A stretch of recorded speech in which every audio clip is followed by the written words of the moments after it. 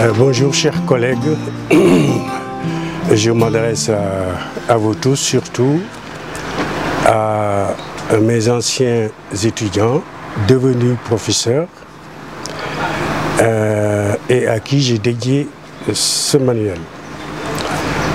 Euh, pourquoi j'ai écrit ce manuel? Tout d'abord parce que j'ai voulu témoigner de mon expérience d'enseignant au niveau de l'université et en même temps de la FASTEF. Donc, euh, je sais quelles sont les difficultés que rencontrent les professeurs, surtout à partir de euh, l'année 1998, où il y a eu la réforme de la philosophie qui n'a pas été suivie d'un effort de euh, réunion de textes euh, dans, euh, si vous voulez, concernant le programme qui a été validé par le ministère de l'Éducation nationale de l'époque.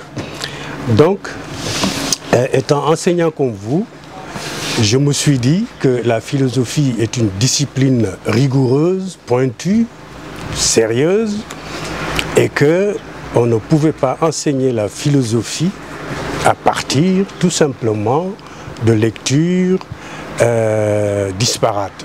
Et c'est pour cela que j'ai pensé écrire ce manuel. Je me suis attelé euh, dès euh, l'année 2010, un peu, disons, deux ans avant que je n'aille à la retraite. je l'ai fini en 2014, j'ai profité de euh, progrès accomplis par euh, euh, l'Armatan pour proposer mes textes et qui ont été acceptés. Alors, voilà pourquoi j'ai écrit ce manuel et comment je l'ai écrit? Je l'ai écrit, je l'ai dit tout à l'heure, pour euh, euh, disons, mes anciens étudiants, euh, mes collègues de philosophie, et c'est pour cela d'ailleurs qu'ils n'auront aucune peine à se rendre compte que pas mal de textes que j'ai proposés dans le manuel leur sont familiers. parce qu'ils les ont abordés avec moi et qu'ils ont été, en formation surtout lors de mes cours euh, sur la métaphysique et euh, sur la pensée de Nietzsche.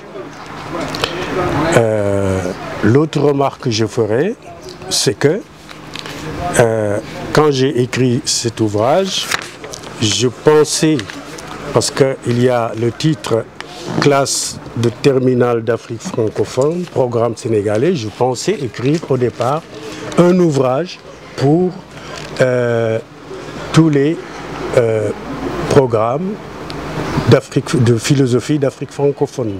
Mais je me suis rendu compte, après avoir recueilli certains programmes de certains pays euh, de la sous-région, qu'il y avait un amalgame parce que dans certains programmes euh, que je ne nommerai pas, on a euh, voulu faire de l'ethnocentrisme en décrétant que euh, la pensée africaine regroupait tout ce qui concernait la tradition, l'animisme, la pensée animiste par exemple, a été intégrée dans certains programmes. la philosophie des mythes, ça peut passer, mais à la limite, ça relève de l'ethnologie, de l'anthropologie ou de, euh, des sciences du langage.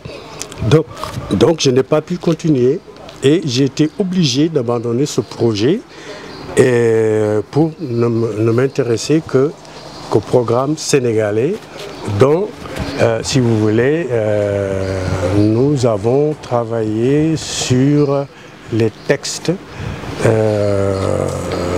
choisis à partir de séminaires. Alors, euh, J'ai écrit ce, livre, ce manuel aussi, pour, euh, si vous voulez, recenser ma vision de la philosophie et de l'enseignement de la philosophie. Mes anciens étudiants se rendront bien compte que euh, l'orientation que j'ai donnée à ce manuel, à partir des textes que j'ai choisis moi-même, euh, et qui sont le fruit de mes lectures parce qu'il y a beaucoup de textes qui figurent, mais qui euh, se trouvent dans des ouvrages dont je dispose. Hein, et euh, ce sont mes lectures personnelles qui m'ont permis, qui ont facilité d'ailleurs la recension de ces textes-là, qui m'ont permis donc de rassembler l'ensemble des textes qui figurent dans ce manuel. Alors, je voudrais euh, donc euh, vous demander euh, si, d'ici quelques années, si l'ouvrage vous convient, répond à vos préoccupations, disons, pédagogiques, parce que je, je suis très attaché à la critique à la critique au sens ancien du terme, qui me permettrait peut-être, sur proposition de l'armatan, euh, d'intégrer d'autres textes, mais qu'on ne me parle pas de textes concernant la philosophie africaine, etc. Et je vous en, je vous, je vous, je vous prie euh, de bien lire la présentation, la présentation du manuel mon texte hein, euh, concernant le manuel et c'est un ensemble, c'est un, disons, un texte euh, fondamental.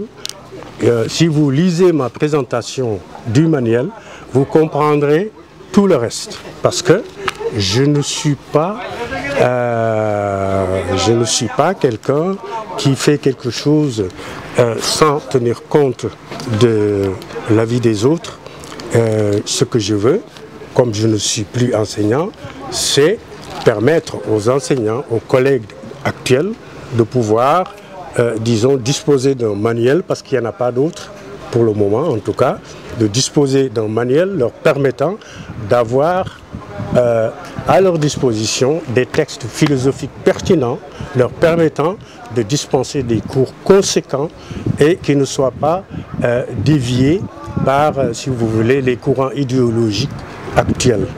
Euh, cela n'est pas de la philosophie. Ce n'est pas de la philosophie.